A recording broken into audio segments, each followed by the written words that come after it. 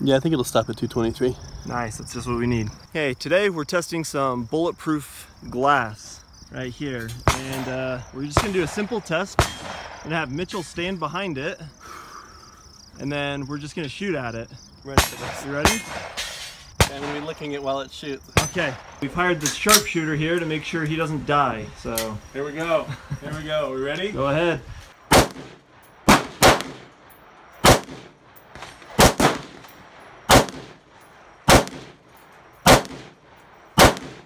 Now let's go see if Mitchell's still alive. Uh, is he done? Yeah. Look at that.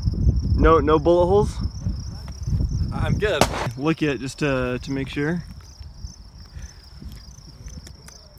Oh yeah, that's bulletproof. Yeah, because the bullets shooting it, you know, that wasn't enough proof. A layer of like rubber and then glass behind it. Yeah, we shot that with probably 30 rounds and Mitchell survived. That's some good glass. Should have had the eye protection on. That was a joke.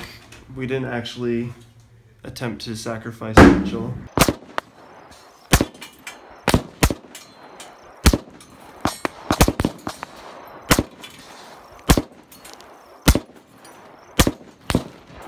But I wouldn't have flinched.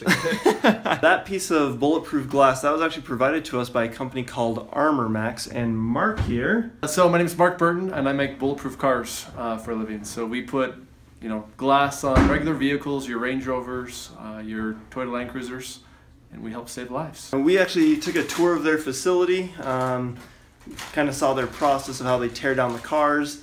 They they rip them down to basically a, a frame, a shell, and then they just bulletproof the entire interior, uh, bulletproof glass, and yeah, and that's that's what we tested here. Now we're just gonna shoot this one because why not? And we're gonna stick Mario behind it to see if he survives.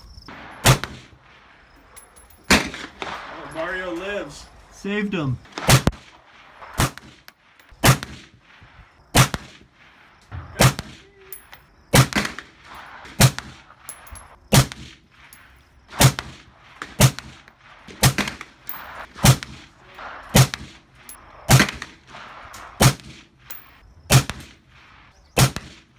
And he survived.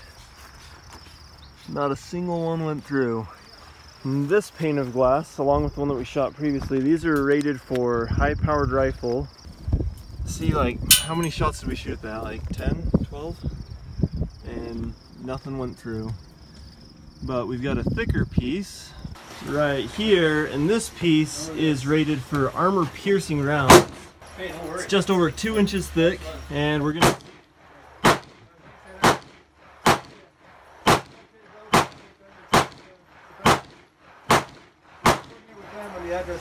And we're gonna see uh, if the water jet can successfully cut through that.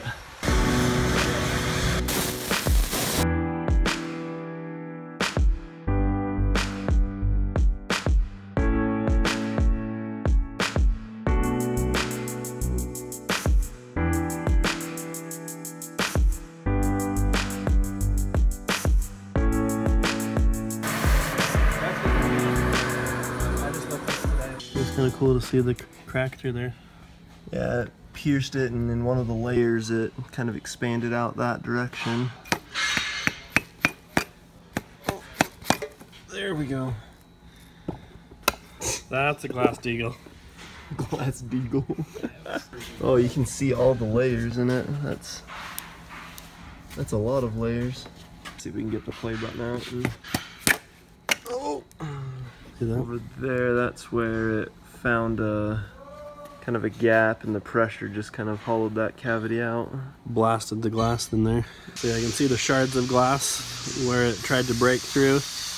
Couldn't find a place for the water to go with all that pressure. It shot out in that cavity. Yeah, yeah. So the the strike face on this is supposed to be the glass side, and we pierced it starting from that side the back. So we're gonna flip this over, pierce it from the other side, just in this area, and see how that differs from that first pierce.